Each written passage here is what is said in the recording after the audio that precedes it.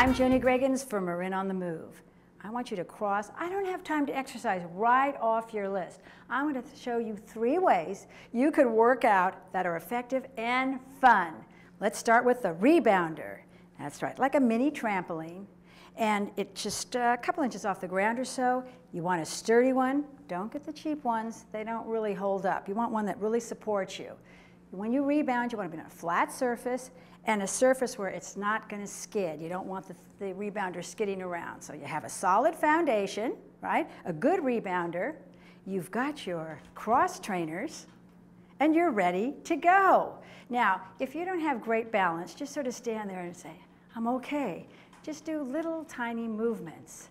Rebounding is a great cardiovascular exercise and also good for the lymphatic system. They call it cellular exercise. Now, as you feel a little bit more bold, you can start shuffling. You can twist. One foot past the other. Now, they have rebounding books, DVDs, videos, all kinds of things that help you. But if you just want to put on some music and do your own thing, you can. Now, the only thing I would say, if you have any, you know, health conditions, always check out with your doctor before you begin any kind of exercise.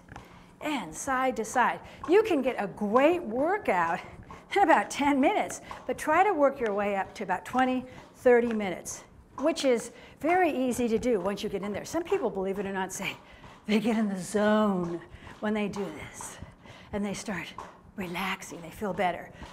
So rebounding, fun, great way to burn calories, get your metabolism up, get the lymph system moving. And here you go. How about hula hooping? Remember the hula hoop? It's been around since 1957 and it's popular as ever. In fact, they have hula hoop classes, they have hula hoop parties, but just how about getting a hula hoop? Now, the first thing you want to be sure is it's the right size. How do you know? You stand up the hula hoop. It should be between the waist and the chest, right in this area. If it's too small, it's very hard to control, moves too fast. You don't want that. You want Uh, the right size hula hoop. Now, how do you begin? You step through the hoop. You take the hoop and you press it right there in the back.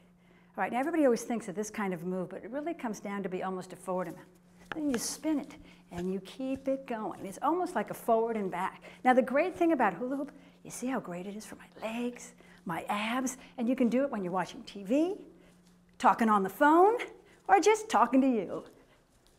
I have another way of, of having exercise and having fun. But first I'm going to hula hoop for a while. All right, we've done rebounding, hula hoops. What's next? Dance mats. They're so much fun. They have dance, they have video games that you can use with your TV. Hey, you don't want to use them with your TV? You don't have to. They're for all ages. You can do it by yourself or with a friend. Come on, Trent. He's my friend. All right, we're going to have a dance off here. Give it a start. All right, here. Oh, oh. All right. Now we're trying to hit the lights and stuff. We're having such a good time. Uh-oh. Keep going. That's it.